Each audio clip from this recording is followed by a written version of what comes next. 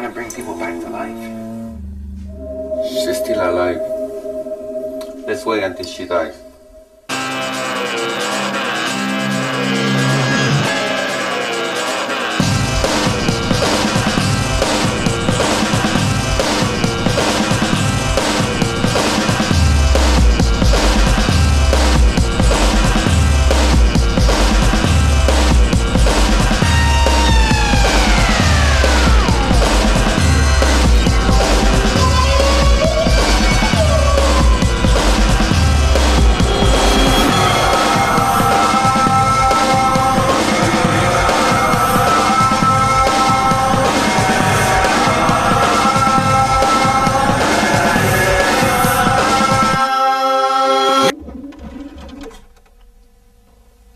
This?